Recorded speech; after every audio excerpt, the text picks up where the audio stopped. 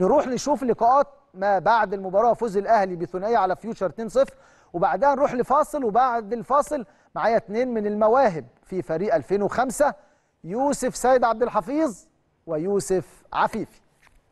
والله الحمد لله طبعا بحمد ربنا وبشكر فضله على الفوز لكن الأداء ما مش عاجبني خالص. يعني أنا مكسب أنا مش مش مبسوط. ليه؟ الشوط الأولاني إحنا مسيطرين ومستحوذين وجبنا جونين بدري.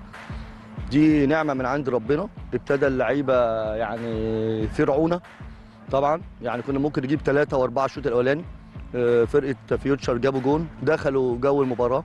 فطبعا الماتشات دي بتبقى آه، الجو مكهرب. ليه؟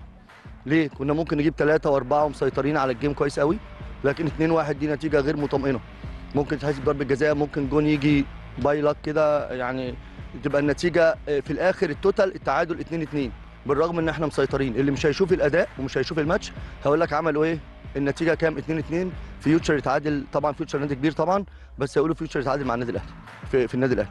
فهو ده اللي مضايقني إن في بعض اللعيبة في رعونة ابتدوا يستهتروا ابتدينا ننقل كور استحواذ سلبي مش استحواذ إيجابي بالرغم إن إحنا كنا كسبانين اثنين كان المفروض النتيجة تبقى أعلى من كده. بس الحمد لله رب العالمين. هنبتدي إن شاء الله بإذن الله من أول بكرة إن شاء الله التمرين عادي عشان ماتش سيراميكا يوم الخميس إن شاء الله بإذن الله. والاستعدادات بتاعتنا عادية زي أي ماتش عادي سواء كان سيراميكا أو إم بي هي كلها بثلاث نقاط.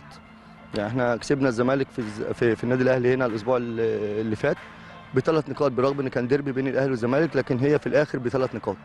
فهو ده الدوري. أهم حاجة عندي الثلاث نقاط. فالاستعدادات إن شاء الله بإذن الله تبتدي من بكرة.